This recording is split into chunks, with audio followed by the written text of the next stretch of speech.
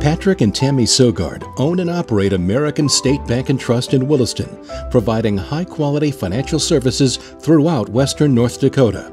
Patrick and Tammy are actively involved in the community and proud to say their bank is locally owned.